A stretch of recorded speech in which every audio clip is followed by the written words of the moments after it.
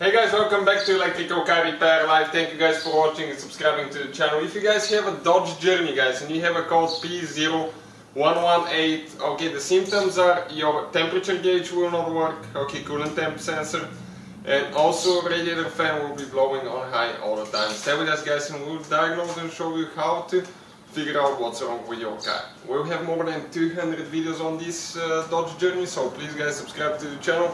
Our mission guys is to save you as much money as we can by teaching you guys how to fix your car for free. Now, I'll go inside, start the car and listen what is happening now.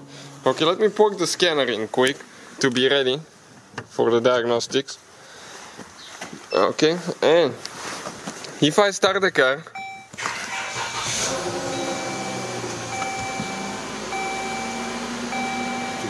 Okay, engine light, engine light. Okay, you can see is on, engine light's on. So I'll go ahead.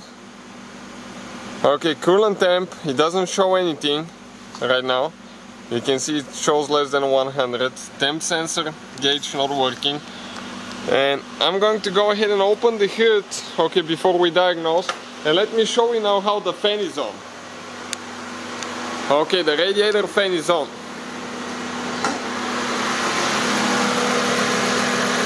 Can see that fan is on guys right there. So I'll go ahead scan the system now. Okay this is the scanner guys. You can find it listed in the description of the video below. Really good scanner for a very affordable price. We'll click read code. And the code that we get P0118 guys. Okay right there. Engine coolant temperature sensor 1 and if I go back guys, we can go to the data stream, view all items, and now right here we're going to have a okay place where it says engine coolant temperature negative 40 degrees.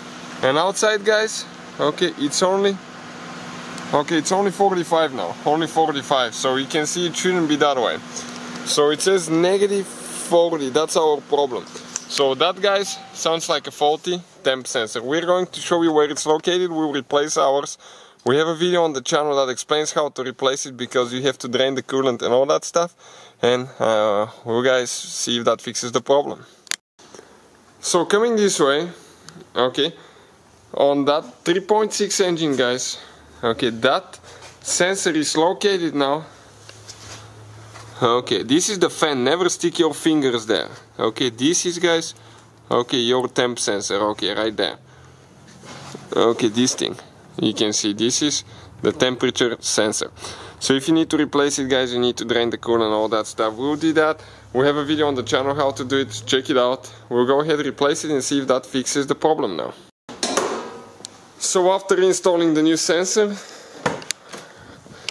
Okay, we are going to go ahead, start the car now. Okay, the car is started. Okay, check out the coolant. Started showing, now it's showing 152 degrees. And if I go back, okay, I'm going to turn now the, the engine off. We'll turn the ignition on. Okay, you can see the car will not be running and we're going to erase the codes. Click erase. Perfect. Now we can go ahead start the car. We'll go under data stream. And now our sensor guys is going to show 154 degrees. That's what the car says. Okay 154 the same thing. So that definitely took care of the problem guys. Thank you for watching and see you guys next time.